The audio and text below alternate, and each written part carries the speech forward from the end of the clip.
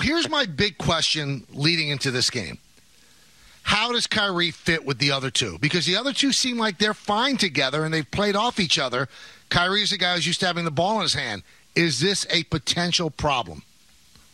I mean, I definitely think it could be. I think this is why Steve Nash gets paid the big bucks to try to figure it out. But you know, Kyrie's been gone for two weeks. The last time he played against Utah was the best game he's ever played for the Nets. You haven't seen him since then, and since he's been gone, they've upgraded the position.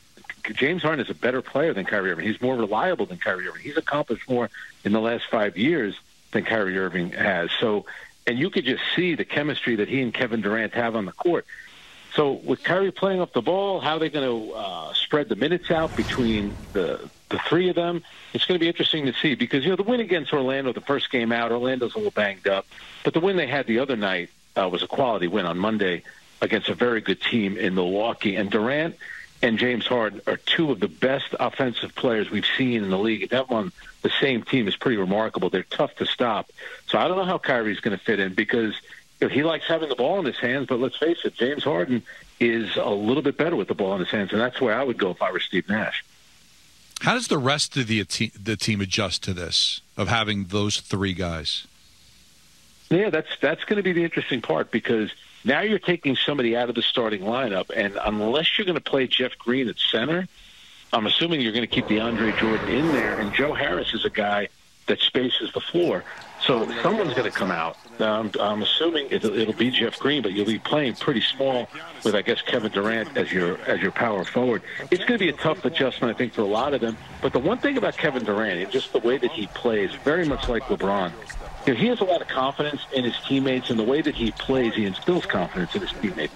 And he's always looking, you know, to make plays. And Joe Harris, is, to me, has benefited the most with Kevin Durant. They have a pretty good thing going when they're out on the court. He talks a lot to Joe Harris. He knows where Joe Harris is on the floor. And I think a lot of those guys are really good role players. I got rid of two really uh, good role players in Jarrett Allen and Caris LeVert. But I think those other guys kind of know we're in a position now where we might be able to make, or they should be able to make, a pretty deep run in the playoffs. Do you think that the Nets gave up the King's ransom to get Harden because they're just they're they just don't know what's going on uh, from game to game with Kyrie, or were they going to do this uh, even if Kyrie was there? Well, that's my thing, right? If Spencer Dinwiddie doesn't get hurt and Kyrie's all in, and the Nets go out and they're nine and three in the first twelve games, are they making this trade? I'm, I'm not so sure they're making the trade, but I think Dinwiddie going down and then the situation with Kyrie Irving, whatever the like to me, whatever the reason was, and let's face it, he really he didn't really explain why he missed no, two weeks. I not at he all. Have to, but but my thing is from the Nets standpoint, you know, the Nets, it, you know, it's not a group home. They're not a political organization. The Nets are a basketball team, and you know they you know they pay people a lot of money, and they have to worry about trying to put the best team out there. And I think when you have Kevin Durant on your team, you owe it to yourself, you owe it to Kevin Durant to try to go for it. So I think they did give up a lot, but you do have a player like Harden on the team, and I think they did it in terms of all right. So now we know we have Kevin Durant and James Harden. So tonight they're going to have Kyrie Irving. But if you're Sean Marks and Steve Nash, how can you say, yeah, come playoff time, we know we'll, we know we'll have the three of these guys, barring injury? I'm talking about because Kevin Durant and James Harden always play. That's not necessarily the case with Kyrie Irving. And whatever has happened to him in the last two weeks, and if he needs help, I'm sure the Nets would look out for all their employees. They'd want to help them out.